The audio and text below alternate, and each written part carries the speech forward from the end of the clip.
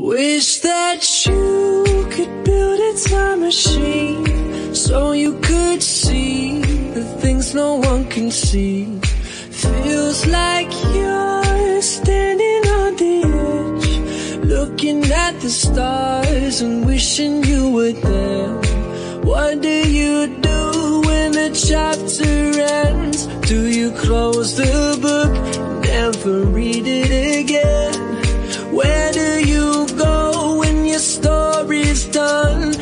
Can be who you were or who you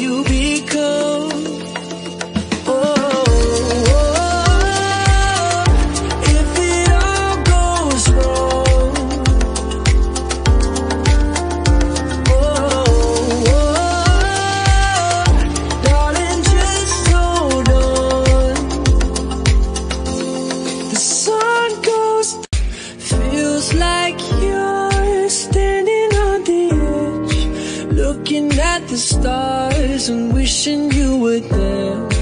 What do you do when the chapter ends? Do you close the book,